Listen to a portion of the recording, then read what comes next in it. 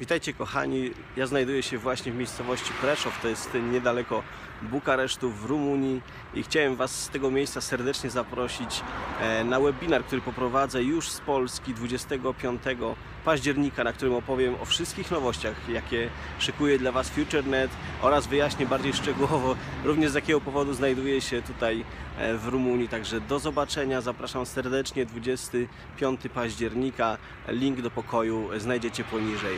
Do zobaczenia, pozdrawiam serdecznie.